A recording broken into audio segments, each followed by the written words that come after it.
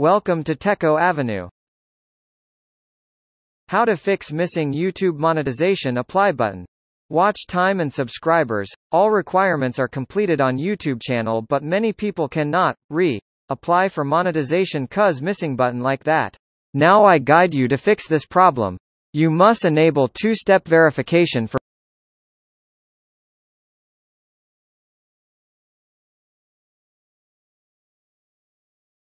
Click to see more contact info go to the personal info section.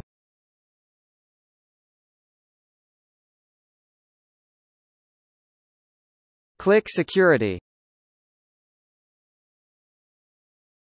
Click two-step verification and turn it on.